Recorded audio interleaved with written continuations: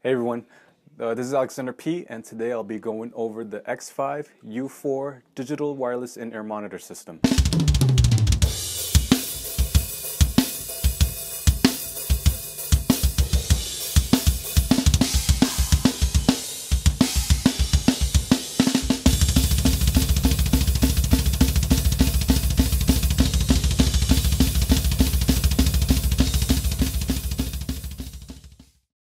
So uh, Xvive uh, recently contacted me and they asked if I would like to give these guys a try, and I said yes, absolutely.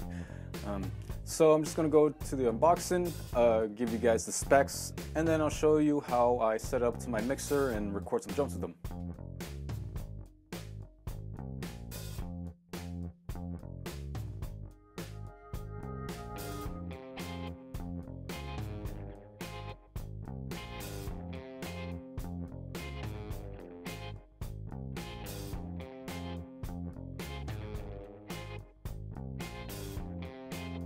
Inside the box, we have the receiver, the transmitter, a male XLR to male quarter inch unbalanced input adapter, a dual micro USB charging cable so you can charge the transmitter and receiver simultaneously.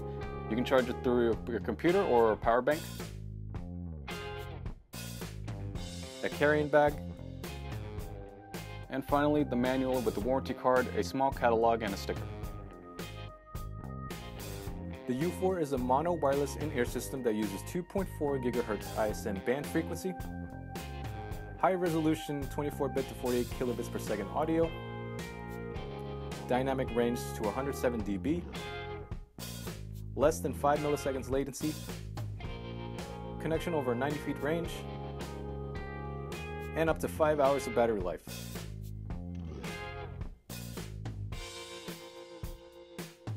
Alright, over here this is the transmitter and as you can see this is where you connect your micro USB cable to charge it.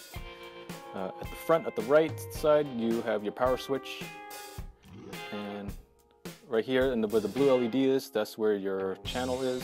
This is where it's currently set on which is 1 and to change the channels you just simply hit this button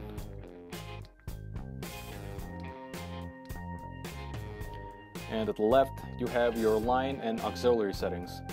Uh, you set the transmitter to aux if you're going to connect to portable audio players or computers, and you set the transmitter to line if you're going to connect it to mixers or other audio devices that send line level signals. Also, this button right here is the lock, so you can take this transmitter out of the mixer safely, or when you're done using the adapter that's included with the U4.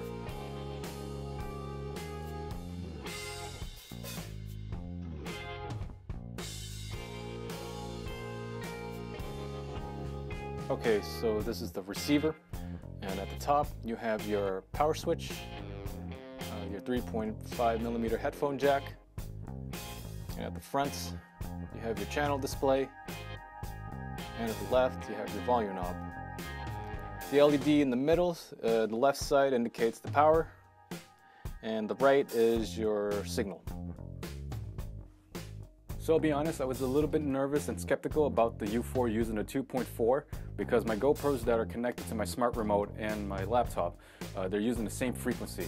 And I was a little bit nervous, you know, of getting uh, interference or loss of signal. But when I tested them earlier, uh, luckily I did not get any of that.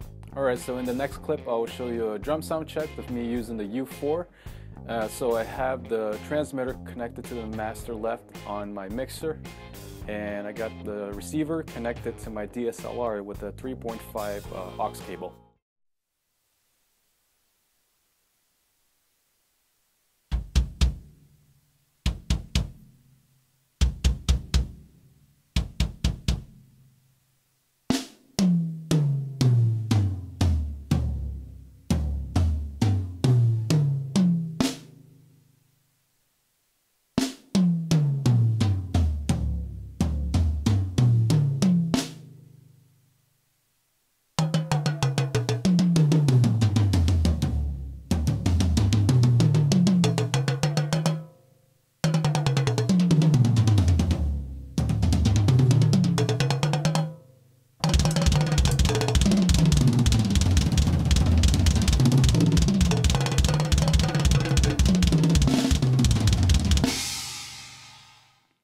First thing I like about the U4 is the build quality. As I said earlier, after I accidentally dropped the receiver, uh, it still works.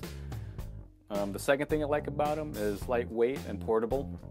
And the third is the uh, battery life. Uh, for me, the other day I recorded over three hours and I still get good signal and no interference. And last is the, the range, uh, 90 feet range. Well, for me, I, I, I just walked around my house and uh, went to the basement and I could still hear uh, my music through, through the receiver pretty well. Right, the one thing I don't like about the U4 is that the sound you will hear from the receiver is only in mono. I do wish it was uh, stereo, at least for, for me, like that would be, help me a lot, uh, especially when I do drum covers. And the second thing I don't like about it is that the battery is not interchangeable.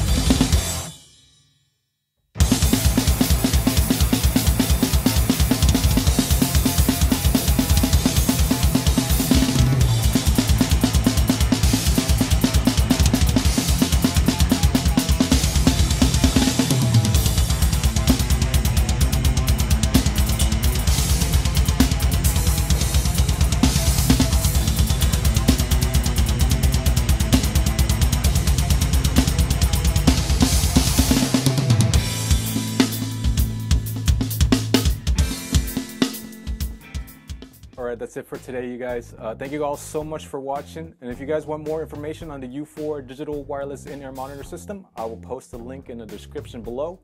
And of course, I will see you all in the next drum cover.